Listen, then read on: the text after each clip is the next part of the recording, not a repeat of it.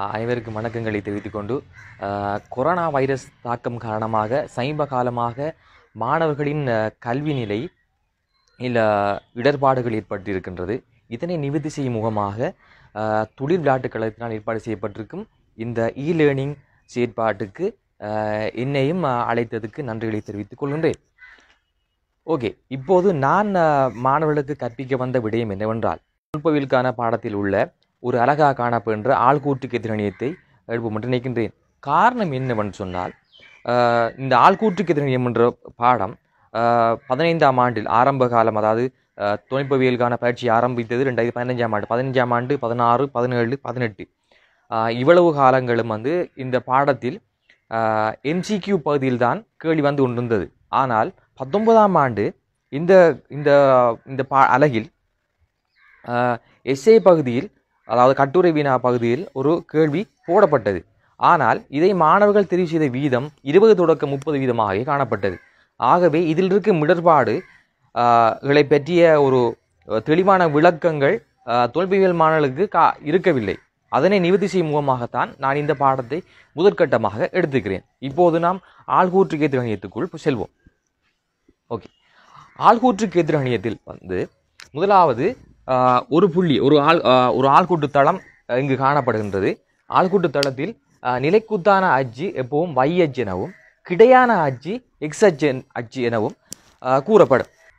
முதலாவதாக ஆள்கூட்டு தளத்தில் ஒரு புள்ளியை குறிக்கும் போது அப்புள்ளியில் ஆள்கூறு எக்ஸ் கமா வை என அடையாளப்படுத்தப்படும்.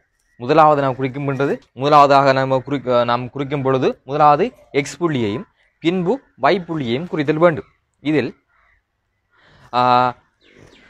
நமக்கு முதலா முதல் முதல் விடயமாக வழங்கப்படுகின்றது இரண்டு புள்ளிகள் தரப்படுமாயின் அப்புள்ளியின் நீளத்தை எவ்வாறு காண்பது என்பது. ஓகே. இப்போது நாம் பார்ப்போம். இது ஏ என்ற புள்ளி இது பி என்ற புள்ளி. ஓகே. ஏ என்னும் புள்ளியின் ஆள்கூரை நாம் எடுப்போம். எக்ஸ் ஒன் ஒய் ஒன் என எடுப்போம். ஆகவே இதன் ஆள்கூறு என்ன வரும்? எக்ஸ் ஒன் ஒய் ஒன் என வரும். அதே போன்று பி என்ற புள்ளியின் ஆள்கூரை குறிக்கும் போது இதனை நாம் எக்ஸ் டூ ஒய் டூ என குறிப்போம். ஆகவே க- கீழ் ஒய் எக்ஸ் அச்சில் இருக்கும் புள்ளி எக்ஸ் டூ ஆகவும் ஒய் அச்சில் இருக்கும் புள்ளி ஒய் டூ ஆகவும் கருத்துக்கொள்ளப்படும் இப்போ நமக்கு தேவையான விடயம் ஏபியின் நீளம். ஓகே ஏபியின் நீளம் நாம் வெறுமனே X one Y one X two Y two வைத்து காண ஆகவே அதனை ஒரு அமைப்பு மூலமாக செய்வோம். ஓகே இப்போது இந்த கிடையான ஒரு கோட்டினை எக்ஸ் அச்சுக்கு சமாந்தரமான ஒரு கோட்டை வரைவோம். இப்புள்ளியை சி என வைத்துக் கொள்வோம். ஓகே சி என்னும் புள்ளியின் ஆள்கூறு. இங்கே பாருங்க முதலாவது எக்ஸ் டூ அடுத்தது நிலை நிலைக்கூத்தச்சில் காணப்படும் y two X two comma y two என அழைக்கப்படும். ஓகே ஏபியின் நீளத்தை காணும் பொழுது.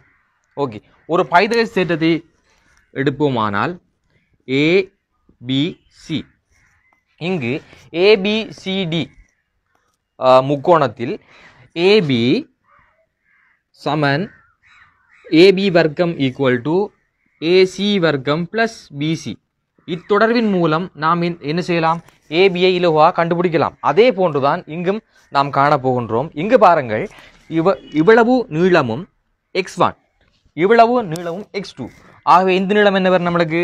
X two minus X one ஆக காணப்படும். அதே போன்று இவ்வளவு நீளம் எவ்வளவு நம்மளுக்கு? வை ஒன் இவ்வளவு நீளம் என்ன வரும்? வை டூ ஆகவே என்ன வரும்? இந்த நீளம் Y two minus Y one ஆக காணப்படும். ஆகவே இனி நம்ம இலவாக கண்டுகொள்ளலாம். எவ்வாறு? ஏபி ஏபியின் வர்க்கம் சமன். ஏசியின் வர்க்கம் சக. பிசியின் வர்க்கம்.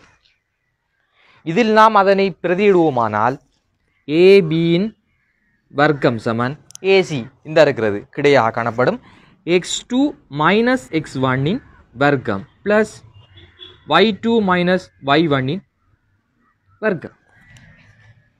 ஏபியை மாத்திரம் எடுப்போமானால் வர்க்க மூலத்துக்குள்ள எக்ஸ் டூ மைனஸ் எக்ஸ் ஒன்னின் வர்க்கம் plus Y two minus Y ஒன்னின் வர்க்கம். இதிலிருந்து நாம் ஏபியின் நீளத்தை கணிக்க முடியும். இது முதலாவது விடயம். இப்போது நாம் முதலாவதாக க- கற்ற விடயத்துக்கு உதாரணமாக ஒரு கணக்கினை பார்ப்போம். இப்போது ஏ என்ற புள்ளி தரப்படுகின்றது மூன்று கமா நான்கு என்ற ஆள்கூறு.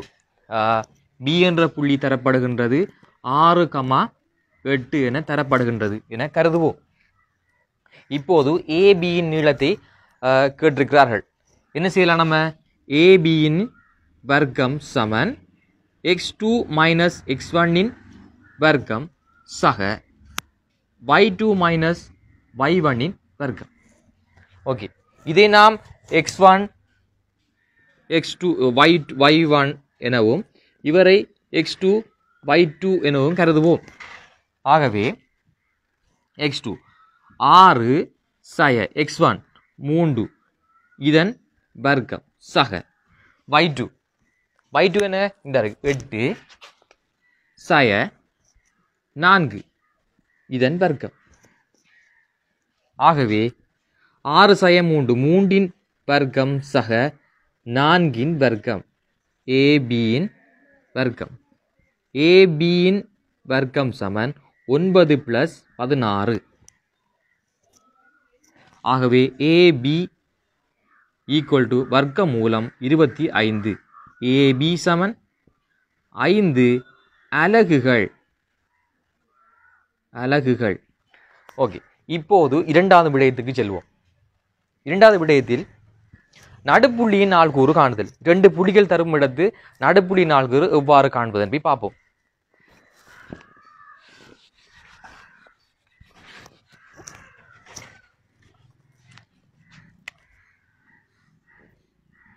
அதே போன்று ரெண்டு புள்ளிகள். எக்ஸ் ஒன் ஒய் ஒன் இங்கு எக்ஸ் டூ ஒய் டூ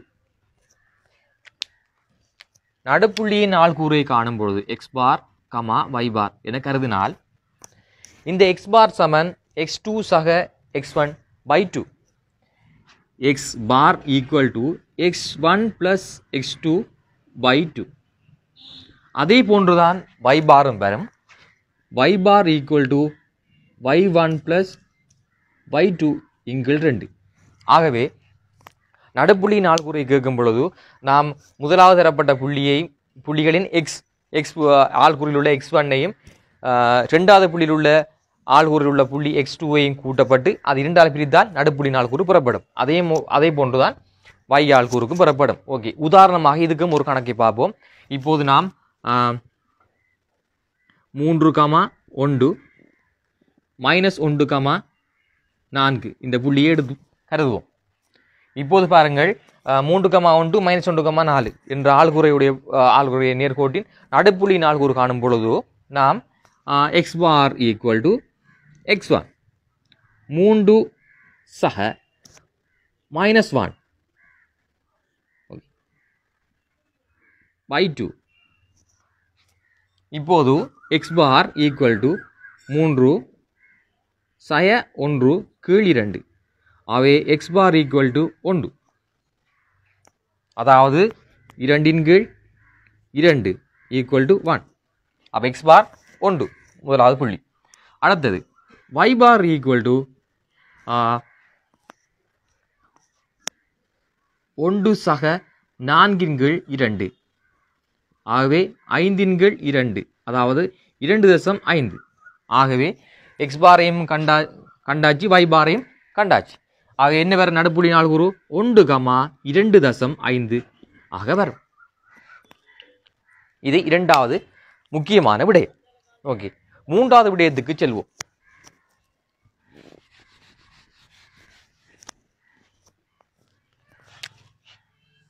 மூன்றாவது விடயத்தில் இப்போது நடுப்புள்ளியை கண்டோம். நீளத்தை கண்டோம். ஆகிய நடுப்புள்ளி அல்லாது வேறே ஏதாவது ஒரு புள்ளியில். அதாவது இது எக்ஸ் ஒன் ஒய் ஒன் இங்கே எக்ஸ் டூ ஒய் டூ இப்போது நடுப்புள்ளி அல்லாத வேறு ஏதாவது ஒரு புள்ளி. இதை எக்ஸ் பார் பை பார்ன கருதினால் அதாவது இதை சமனாக சமன் என்றால் எவ்வாறு காணப்படும்? இது ஐந்து என்றால் இது ஐந்து. இது நான்கு என்றால் இது நான்கு. இது ஒன்று என்றால் இது ஒன்று. இவ்வாறு சமனாக இல்லை. இது நான்கு என்றால் இது மூன்று. இது பத்தெண்டால் இது பதினைந்து. அவ்வாறு வேறு ஏதாவது இருக்கு. அதாவது நாம் எடுப்போம் எம்முக்கு என் என்ற விகிதத்தில் பிரிக்கப்பட்டுள்ளது என கருதுவோம். கருதினால் X bar equal to M into X two M into X two M into X two சக. N into X one N into X one கீழ் எம் பிளஸ் என்னால் தரப்படும். இதே போன்று y பாருக்கும் y bar equal to M into Y two plus N into Y one கீழ் M plus என்னால் தரப்படும். ஓகே பாருங்க. இந்த எம் இருக்கு இங்கே எக்ஸ் டூ இருக்கு. அப்போ நம்ம ஆப்போசிட் சைடில் இருக்குது M into X two N into X one plus M into N இதிலிருந்தும் நாம் நடுப்புள்ளினால் கூரை கணிக்க முடியும். இவ்வாறாயின் உதாரணமாக X bar equal to okay நடுப்புள்ளின்னு சொன்னால் இந்த எம் என்று சொன்னால் அங்கேயும் எம் இங்கே என்னன்னு சொன்னால் இங்கேயும் என்ன தான் காணப்படும். இங்கே பார்ப்போம். M into X two plus M into X one கீழே எம் ப்ளஸ் எம் அவை X bar equal to M I பொதுவாக எடுத்தோம்னு சொன்னால் X one plus X two by two M ஆகவே X bar equal to X one plus X two by two இதிலிருந்தும் நாம் நடப்புள்ளி நாலு குறை கணிக்க முடியும். ஓகே உதாரணமாக ஒரு கணக்கை பார்ப்போம். ஓகே இந்த புள்ளி எடுப்போம். நாலுக்கு இரண்டு எனவும் இது இரண்டுக்கு ஒன்று எனவும் எடுப்போம். இது மூன்றுக்கு இரண்டு. என்று பிரிக்கப்பட்டுள்ளது. உட்பகுதியாக உட்பக்கமாக இந்த நேர்கோடு மூன்றுக்கு ரெண்டு என்ற பின்னத்தில் பிரிக்கப்பட்டுள்ளது என கருதுவோம். கருதினால் பார்ப்போம். X one Y one X two Y two okay இதிலிருந்து செல்வோம்.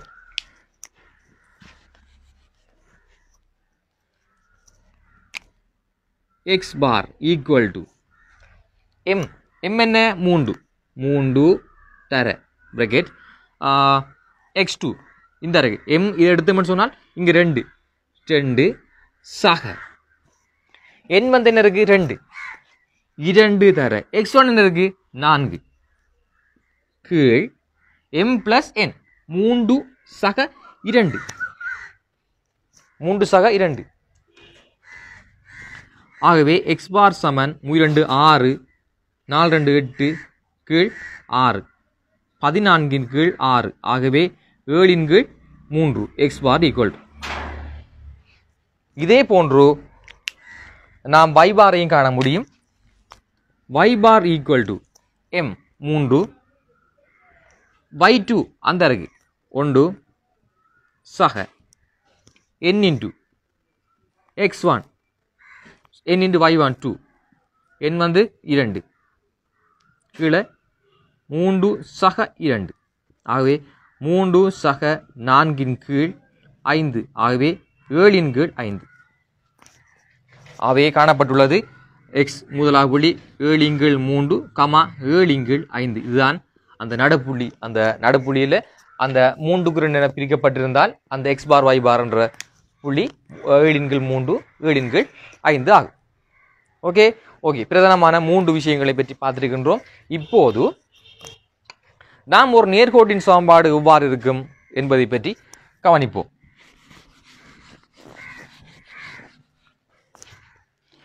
ஒரு நேர்கோட்டின் சமன்பாடு பொதுவாக y சமன் mx ப்ளஸ் சி என்ற அமைப்பில் வழங்கப்படும். ஓகே இந்த கோடு எம் என்றால் படித்திறன். படித்திறன். சி என்றால் வெட்டு துண்டு. துண்டு. ஓகே படித்திறன் என்றால் என்று பார்ப்போம். படித்திறன் என்று சொன்னால் என்னன்னு சொன்னால் ஒரு நேர்கோடு கிடை அச்சின் கிடை அச்சின் நேர்த்திசையுடன் அமைக்கும் கோணத்தின் டேன் பெருமானம் தான் வந்து படித்திறன் அழைக்கப்படும். கிடை அச்சின் நேர்த்திசையுடன் அமைக்கும் டேன் பெருமானம் தான் படித்திறன் அழைக்கப்படும்.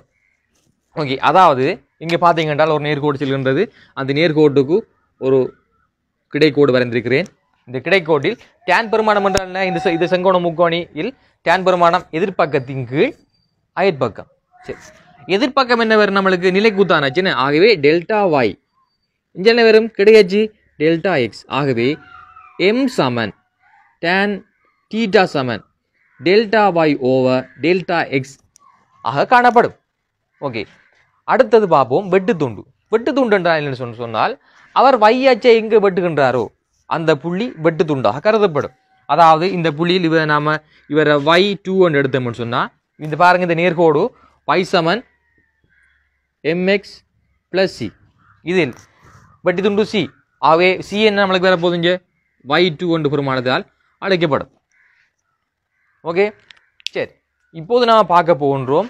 ஒரு நேர்கோட சமன்பாடை காணும்போது மூன்று வகையான நிபந்தனையின் கீழ் காண முடியும். முதலாவது ஒரு புள்ளியும் ஒரு படித்திறனும் தரும் தரும் இடத்து எவ்வாறு அந்த நேர்கோட்டின் சமன்பாடை காண்பது என்பதை பார்ப்போம்.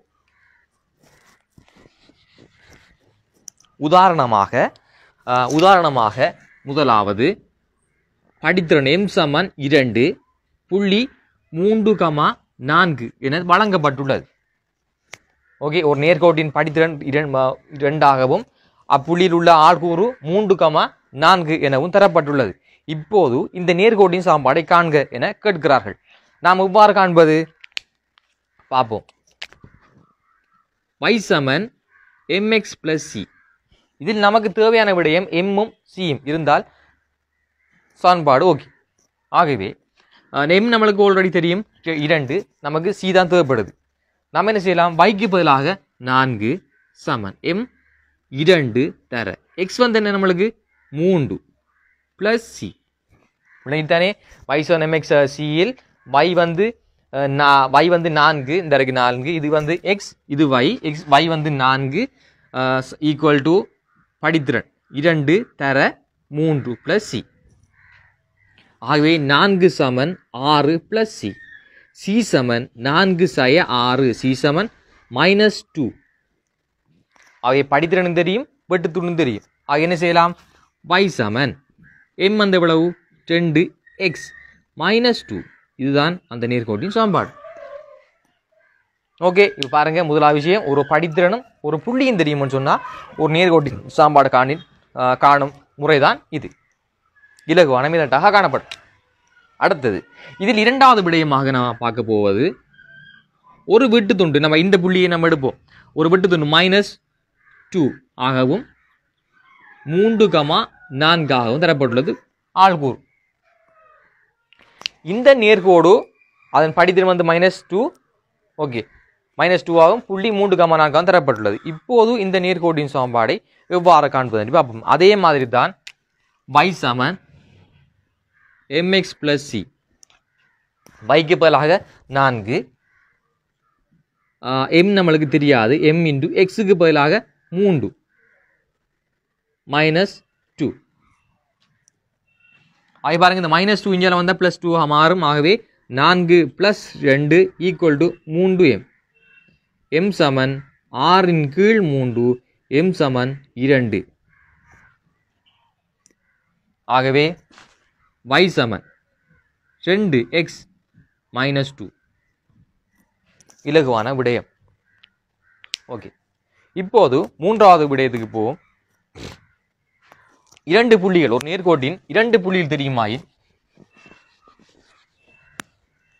மூன்றாவது ஒரு நேர்கோட்டில் இரண்டு புள்ளிகள் தெரியுமாயின் எவ்வாறு நேர்கோட்டின் சமன்பாடை காண்பது என்பதை பார்ப்போம். ஒரு புள்ளி நான்கு கமா ஆறாகவும் மூன்று கமா இரண்டாகவும் காணப்படுகின்றது. இந்த நேர்கோட்டின் சமன்பாடை எவ்வாறு காண்பது என்பதை பார்ப்போம். ஓகே. இப்போது நீங்கள் பாருங்கள் ஒரு கால்குட்டு தளத்தில் உள்ள ஒரு நேர்கோட்டின் சமன்பாட்டில் உள்ள புள்ளிகள் தான் இது என்ன கருதுவோம்? ஓகே. இங்கு நாம் நிறைய வகையான முக்கோணங்களை உருவாக்க முடியும். இங்கு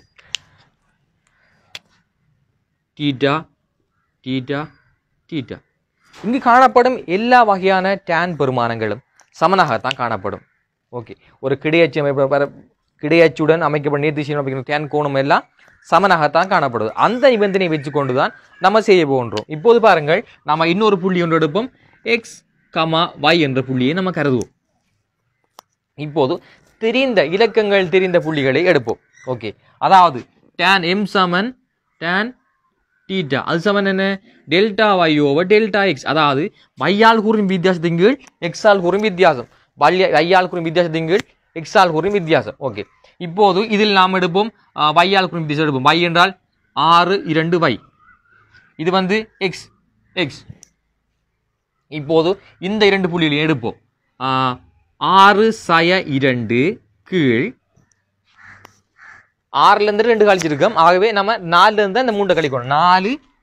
சய மூன்று ஈக்குவல் டு இந்த சின்ன பெருமானத்தையும் இந்த தெரியாத எக்ஸ் ஒய்யை நம்ம எடுப்போம். ஏன்? ஒரு நேர்கோட்டு நேர்கோட்டில் வந்து y மேக்ஸிமம் அப்படியே கட்டம் இருக்குதான் போது ஓகே நம்ம அப்போ அவர் எடுப்போம். அப்போ y மைனஸ் y என்ன? y y மைனஸ் இரண்டின் கீழ். எக்ஸ் சய மூன்று. சரியா? ஓகே. இப்போது பார்ப்போம். நான்கின் கீழ் ஒன்று equal to Y minus two over X minus three இப்போது நாம் குறுக்கு பெருக்கம் செய்வோமானால் நான்கு X minus three equal to Y minus two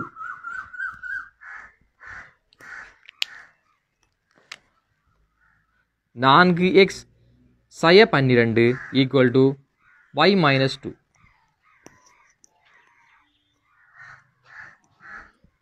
நான்கு எக்ஸ் சய பத்து சமன் y. Y சமன் நான்கு எக்ஸ் சய பத்து. சமன்பாடு பூர்த்தியாகிவிட்டது ஆகவே பாருங்கள் நம்ம ஃபஸ்ட்டாக பார்த்த விடயம் என்ன? ஒரு படித்திறனும் ஒரு புள்ளியும் தெரியும்னு சொன்னால் இதை ஒரு சாப்பாடு காண்ற பார்த்துட்டோம். ரெண்டாவது என்ன பார்த்தோம்? ஒரு வெட்டு துண்டும் ஒரு புள்ளியும் தெரியும்னு சொன்னால் எவ்வாறு நேரோடி சாப்பாடு என்று பார்த்துட்டோம். அடுத்த இரண்டு புள்ளிகள் தெரியும்னு சொன்னால் மூன்றாவதாக ஒரு எக்ஸ் ஒய் என்ற தெரிய கணிதம் எடுத்துக்கொண்டு நாம் எவ்வாறு காண்பது என்று பார்த்துக்கொண்டோம். இங்கு நான்கு நான்குன்றது வந்து படித்திறனாகவும் மைனஸ் டென் என்றது வெட்டுத்துண்டாக காணப்பட போகின்றது. ஓகே இப்போது நாம் முக்கியமான பல விடயங்களை பார்த்துட்டோம். இப்போது பார்ப்போம். ஐந்தாவது விடயமாக நாம் பார்க்க வேண்டிய விடயம் என்று சொன்னால் இரண்டு நேர்கோடுகள் சமாந்தரமாக செல்லுமாயின் எவ்வாறு காணப்படும் என்பதை பார்ப்போம். இப்போது பாருங்கள் இரண்டு நேர்கோடுகள் சமாந்தரமாக செல்லுமாயின். இரண்டு நேர்கோடுகள் சமாந்தரமாக செல்லுமாயின் அதன் படித்திறன் எவ்வாறு இருக்கும் என்பதை பார்ப்போம். இரண்டு நேர்கோடுகள் சமாந்தரமாக செல்லுமாயின் அவை கிடையச்சுடன் கிடையச்சின் நேர்த்திச்சுடன் அமைக்கும் கோணங்கள் எல்லாம் சமனாகத்தான் இருக்கு. ஓகே? இவர டேன் பெருமானமும் இவர டேன் பெருமானம் இரண்டும் இவ்வாறு காணப்படும்? சமனாகத்தான் காணப்படும். ஆகவே இரண்டின் படித்திறன் எவ்வாறு காணப்படும்? சமன். ஆகவே நீங்கள் கரு கருதிக் கொள்ளுங்கள் ஒரு பேப்பரில் இரண்டு நேர்கோள் சமாந்திரம் என்ற வசனம் நீங்கள் கேள்விப்படுவீங்கன்னு சொன்னால் நீங்கள் என்னதை எடுக்கணும்? ரெண்டு படித்திறன்களும் சமன் என கருதித்தான் அந்த கணக்கை அந்த கேள்வியை நீங்கள் செய்தல் முக்கியம். இரண்டு நேர் சமாந்திரமாக போக மாட்டோம்னா ரெண்டு நேர்கோட்டின் படித்திறன்களும் சமனாக காணப்படும். ஓகே. இரண்டாவது அதில் அடுத்தபடி பார்ப்போம். இரண்டு நேர்கோடுகள் ஒன்றுக்கொன்று செங்குத்தாக இடைபட்டுமாயின் இரண்டு நேர்கோடுகள். ஒன்றுக்கொன்று செங்குத்தாக இடைவெட்டுமாயில் இதன் படித்திறன் எம் ஒன் எம் டூ என கருதினால் இரண்டு படித்திறனுக்குமான தொடர்பு சொன்னால் இரண்டு படித்திறன்கள் எம் ஒன் தர M two equal to minus one ஆக கருதப்படும். பாருங்க இது என்ன பார்த்தோம். ரெண்டு நேர்கோடு சமாந்தரமாக போகும்னு சொன்னால் ரெண்டரை படித்திறன் சமனாக காணப்படுது.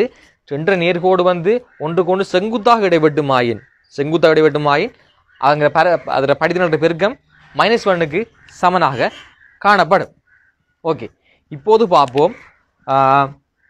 இரண்டு நேர்கோடுகள் ஒன்றுக்கொன்று இடைபட்டுமாயின் இப்புள்ளியை காணும் பொழுது y equal to M one X plus C one இந்த நேர்கோட்டின் சமன்பாடு இங்கு y சமன் M two X plus C two இந்த ரெண்டு நேர்கோடுகளையும் தீர்க்கும் பொழுது எக்ஸுக்கும் வைக்கும் ஒரு பெருமானம் வரும். அந்த பெருமானம் இந்த புள்ளியாக காணப்படும்.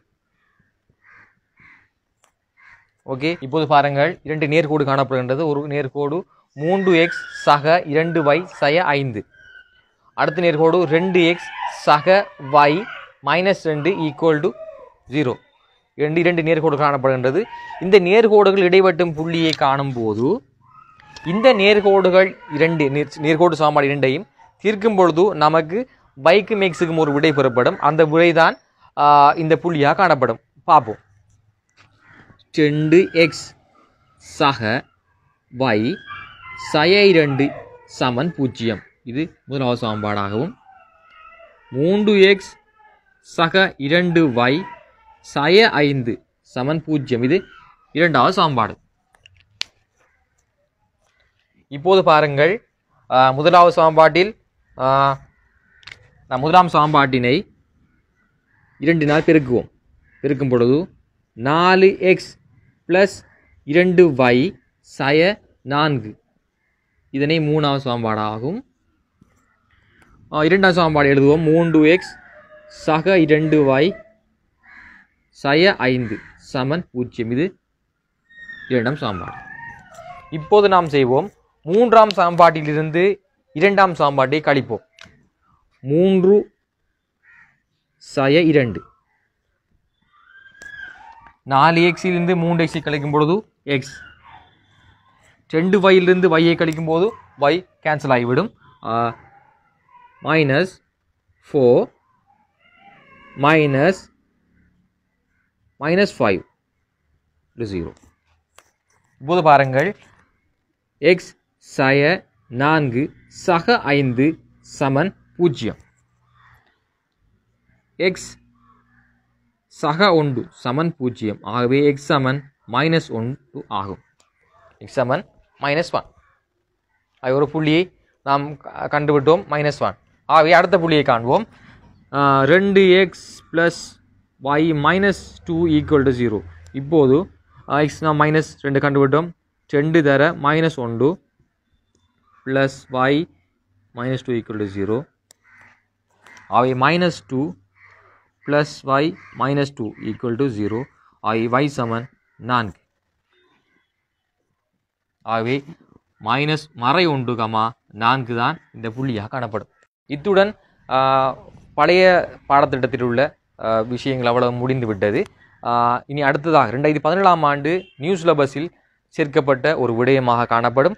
ஆஹ், இருபடி சார்பு அஜ்ஜி அதை பற்றி பார்ப்போம். ஓகே. இது நியூ சிலபஸுக்குரியது இனி சொல்ல போகிற அவ்வளவும் நியூ சிலபஸுக்குரிய விடயங்கள். நியூ சிலபஸுக்குரிய விடயங்கள். அதாவது பார்ப்போம். இருபடி சார்பு. இருபடி சார்பு பொதுவாக நமக்கு வழங்கப்படுற சாம்பாடு வைசமன் ஏஎக்ஸ் வர்க்கம் plus B X plus C என்ற வடிவில் காணப்படும். இருபடி சார்பு. ஓகே. அதாவது நீங்கள் கணித பாடத்தில் ஓஎல்லில் கற்றிருப்பீர்கள். அதாவது உயர்வான கிராஃப் இழிவான கிராஃப் இவ்வாறு நீங்கள் பார்த்திருப்பீர்கள். இந்த கிராஃபுக்குரிய சாம்பாடுகளின் பொது வடிவம்தான் வைசமன் ஏ எக்ஸ் வர்க்கம் plus B X plus C இதில் கடினமான விடயங்கள் ஒன்றுமல்ல. ஓகே இப்போது பார்ப்போம். இதில் உயர்வான கிராஃபாக உயர்வான வளையாகவா அல்லது இழிவான வளையாகவா இருக்கின்றது என்பதை அறிவது எவ்வாறுன்னு சொன்னால் இந்த எக்ஸ் வர்க்கத்தின் குணகம் எக்ஸ் வர்க்கத்தின் குணகம் நமக்கு மைனஸ் பெருமானத்தில் இருக்குமாயின் அவ்வரைவு உயர்வான வரைவாகவும் இந்த வரை உயர்வான வரைவாகவும் எக்ஸ் வர்க்கத்தின் குணகம் ப்ளஸ் பெருமானத்தில் இருக்குமா இருக்குமாயின் அவ்வரைவு இழிவான வரை இழிவு புள்ளி கிராஃபாகவும் காணப்படும். ஓகே உதாரணமாக ஒரு கணக்கு எடுத்தோமானால் y சமன் மைனஸ் எக்ஸ் வர்க்கம் ப்ளஸ் எட்டு எக்ஸ் ப்ளஸ் ஆறு என்ற சாம்பா என்ற சாம்பாடை எடுப்போம் இந்த சாம்பாடில் பாருங்கள். எக்ஸ் வர்க்கத்தின் குணகம் எங்க? ஏ ஏ என்ன இருக்கிறது? ஏ சமன் மைனஸ் ஒன்றாகவும் பி என்ன இருக்கு நம்மளுக்கு? பி சமன் எட்டாகவும் சி என்ன இருக்கு? ஆறாகவும் காணப்படுகின்றது. பாருங்கள் எக்ஸ் வர்க்கத்தின் குணகம் மைனஸ் ஒன்றாகவும் எக்ஸின் குணகம் பி அதாவது எட்டு சி ஆறாக காணப்படுகின்றது. ஓகே முதலாவதாக கேட்கிறார்கள் இவ்வரைவு எவ்வகையான வரை உயர்வு வரைவா இழி வரைவா? நாம் எவ்வாறு உறுதி செய்வோம்? எக்ஸ் இறக்கத்தின் குணகம் மைனஸ் பெருமானத்தில் உள்ளது பி ஏ ஆகவே இது எவ்வாறான கிராஃபாக காணப்படும்? உயர்வான கிராஃபாக காணப்படும். அவ்வா உதாரணமாக உதாரணமாக இவ்வாறான ஒரு ஆஹ், வர வளையா காணப்பட போகின்றது. புள்ளியை இவ்வாறு காண்பது? இந்த உயர்வான புள்ளியை எவ்வாறு காண்பது? இதுக்கான சமன்பாடாக இதன் முதலாவது எக்ஸ் புள்ளியை காண்பதுக்கு எஸ் எக்ஸ் சமன். சய பியங்கள் இரண்டு ஏயால் தரப்படும் சமன்பாட்டினை பயன்படுத்தலாம். இப்போது பாருங்கள் எக்ஸ் சமன் சய. பியின் பெருமானம் என்ன நம்மளுக்கு? எட்டு. எட்டு கீழ் இரண்டு தர. ஏயின் பெருமானம் என்ன நம்மளுக்கு தெரியும்? மைனஸ் ஒன் ஆகவே மைனஸ் ஒன் பாருங்கள் மைனஸ் எட்டின் கீழ் மைனஸ் இரண்டு. ஆகவே என்ன வரும் நம்மளுக்கு? மைனஸ் மைனஸ் ஆகவே நான்கு. எக்ஸின் பெர் எக்ஸின் பெருமானம் நான்கு. ஆகவே இவ்விடத்தில் காணப்படும் புள்ளி நான்காக காணப்பட போகின்றது. ஓகே. இனி நமக்கு இலகுவாக இருக்குது இந்த நான்கு கண்டு போனால் இந்த நான்கை கொண்டு இந்த சாம்பாட்டில் நம்ம எக்ஸுக்கு பதிலாக பிரியிடும் பொழுது வைக்கு ஆன பெருமானத்தை காண்போம். வை எக்ஸ் வர்க்கம் ப்ளஸ் எட்டு எக்ஸ் ப்ளஸ் ஆறு. Y சமன் மைனஸ் நான்கின் வர்க்கம் ப்ளஸ் எட்டு தர நான்கு சக ஆறு. மைனஸ் பதினாறு ப்ளஸ் முப்பத்தி ரெண்டு ப்ளஸ் ஆறு. ஆகவே பத்து ப்ளஸ் முப்பத்தி ரெண்டு சமன் இருபத்தி ரெண்டு ஆகிய y சமன் இருபத்தி ரெண்டு எக்ஸ் சமன் நான்கு. ஆகவே இங்கே பாருங்க இங்கே இருபத்தி ரெண்டு காணப்படும் இங்கே நான்கு காணப்படும். ஆகவே இந்த புச்சி புள்ளியினால் ஒரு வந்து என்ன? நான்கு கமா இருபத்தி ரெண்டாக காணப்பட போகின்றது. உதாரணமாக. ஓகே அடுத்து சமச்சீர் அச்சின் புள்ளி என்னவா காணப்படும்? நான்காக காணப்பட போகின்றது. உதாரணமாக இன்னொரு கணக்கை பார்ப்போம். இங்கு பாருங்கள் வை சமன் எக்ஸ் வர்க்கம் சய மூன்று எக்ஸ் சக இரண்டு. இங்கு பாருங்கள் எக்ஸ் வர்க்கத்தின் குணகம் என்ன? ஏ சமன் ஒன்றாக காணப்படுகின்றது. எக்ஸின் குணகம் பி சமன் மைனஸ் மூன்றாகவும் சி சமன் இரண்டாகவும் காணப்படுகின்றது. இங்கு பாருங்கள் இது எவ்வாறான கிராஃபாக காணப்பட போன்றது? எக்ஸ் வர்க்கத்தின் குணகம் ப்ளஸ்ஸாக காணப்படுகின்றது. ஆகவே இந்த கிராஃப் ஒரு இழிவு புள்ளிக்குரிய கிரா கிராஃபாக காணப்பட போகின்றது. இப்போது நாம் பாருங்கள் இந்த இழிவு புள்ளிக்கான இந்த புள்ளி ஆள்கூரை காண போகின்றது இவ்வாறு காண்பது என்பதை பார்ப்போம். ஓகே. என்ன சமன்பாடு? எக்ஸ் சமன் சய பியங்கள் இரண்டு ஏ இப்போது பாருங்கள். சய சய மூன்று ரெண்டு தர ஏ ஒன்று. ஆவே சக மூன்றின் கீழ் இரண்டு. அவை ஒன்று தசம் ஐந்து. அவை எக்ஸ் என்னவா காணப்படுகின்றது? எக்ஸ் ஒன்று தசம் ஐந்து. இப்போது பார்ப்போம். மையை எவ்வாறு காண்பது? என்பது y சமன் எக்ஸ் வர்க்கம் சய மூன்று எக்ஸ் ப்ளஸ் இரண்டு. எக்ஸ் வர்க்கம். மூன்றின் கீழ் இரண்டின் வர்க்கம் சய மூன்று. மூன்றின் கீழ் இரண்டு ப்ளஸ் இரண்டு. ஒன்பதின் கீழ் நான்கு சய ஒன்பதின் கீழ் இரண்டு சக இரண்டு. இப்போது போமோசி நான்கு எடுத்தால் ஒன்பது மைனஸ் ரெண்டு பதினெட்டு ப்ளஸ் எட்டு. ஒன்பது சய பத்தின் கீழ் நான்கு. அதாவது சய ஒன்றின் கீழ் நான்கு. வை அவ என்ன வரும்? வை சாமன்? மைனஸ் சைவரசம் ரெண்டு ஐந்து. அந்த சொல்லலாம். அப்போ இங்கே என்ன வரும்? மைனஸ் ஒன்றிங்கள் நான்கு ஒன்றிங்கள் நான்கு ஒன்று விஷம் ஐந்து. அவள் இந்த புள்ளி என்ன வரும்? ஒன்று விஷம் ஐந்து கமா மைனஸ் ஒன்றுக்கு நான்குன்னு வரப்படும். ஓகே? இவ்வளவு விடயங்கள் தான் இந்த ஆட்கூட்டு கணியத்தில் ஆட்கூட்டு கேத்திர கணியத்தில் அடங்கியுள்ள பிரதான விடயமாக காணப்படுகின்றது. எனவே இந்த வாய்ப்பை எனக்கு அளித்த தொழில் விளையாட்டுக்கள் அதுக்கு நன்றி எடுத்து வைத்துக்கொண்டு இந்த பாடத்தை இத்துடன் நிறைவு செய்து கொள்கின்றேன். நன்றி. வணக்கம்.